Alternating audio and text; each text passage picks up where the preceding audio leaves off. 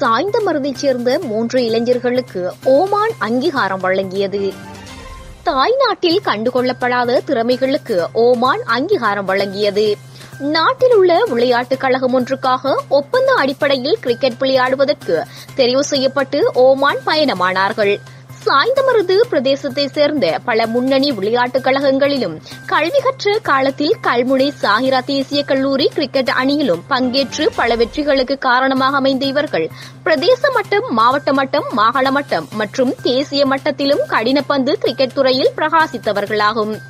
J S Aflal Kariapper M Sajath M A M Rasbak ஆகிய மூன்று இளைஞர்களும் கல்முனை சாகிரா தேசிய கல்லூரியின் பழைய மாணவர்கள் என்பது குறிப்பிடத்தக்க விடயமாகும். உடனுக்குடன் செய்திகளை பெற்றுக்கொள்ள எமது யூடியூப் பக்கத்துடன் இப்போது இணைந்திருங்கள்.